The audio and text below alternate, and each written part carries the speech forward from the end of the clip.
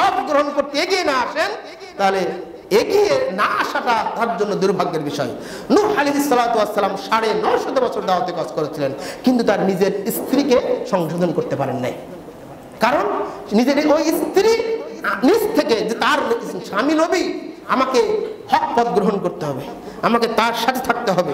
এই তার মাথায় আসে নাই। সে দাম্ভিকতা নিয়ে, অহংকার নিয়ে তার সেই সমাজের পদমর্যাদা নিয়ে এসেছিল।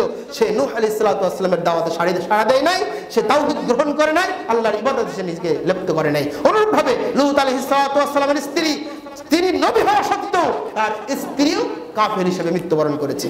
খেয়াল করুন তো, একজন নবী সাড়ে নয় শত বছর মানুষকে দাওয়াত দিয়েছেন, তিনি তার পরিবারে দাওয়াত দেন নাই? তিনি তার স্ত্রীকে দাওয়াত দেন নাই? লুত আলী সালাম সমগ্র সমাজের মানুষকে দাওয়াত দিয়েছেন। তাহলে তিনি কি তার স্ত্রীকে দাওয়াত দেন নাই? দুইজন নবীর ঘরে নবীর স্ত্রী হওয়া সত্ত্বেও তারা কিন্তু কাফের হিসেবে মৃত্যুবরণ করেছেন। কারণ কি? তারা সউদ্যোগে তারা নিজ থেকে লুতকে মানে নাই, নূহ আলী সালাতামকে মেনে নেয় নাই। এই জন্য সুরা তাহারিমের আট এগারো নম্বর দশ নম্বর আল্লাহ বলছেন, দরবাল্লাহু মাতালা লিল্লাযীনা কাফারু ইমরাআত ইমরাআত নূহিন ওয়া ইমরাআত যারা কাফের, তাদের জন্য লূতের স্ত্রী এবং ইমরান নূহের স্ত্রীকে আল্লাহ উদাহরণ দিয়েছেন। কারণ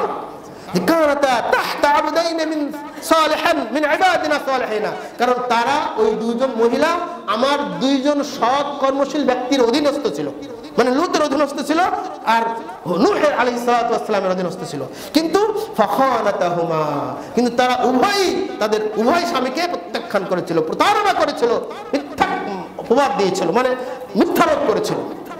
কিন্তু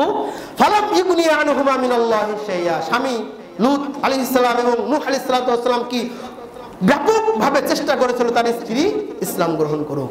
স্ত্রী আল্লাহকে আল্লাহ বলে মেনে নিক। স্ত্রী আমাকে আনুগত্য করুক। কিন্তু তারা কি মেনে নিছিল না, তারা মেনে নেয়নি। এই জন্য আল্লাহ তালা বলছেন যে এই জন্য ওই দুই স্ত্রীকে বলা হয়েছিল, তোমরা জাহান্নামের পরিবেশকারীদের সাথে তোমরা জাহান্নামে প্রবেশ করো।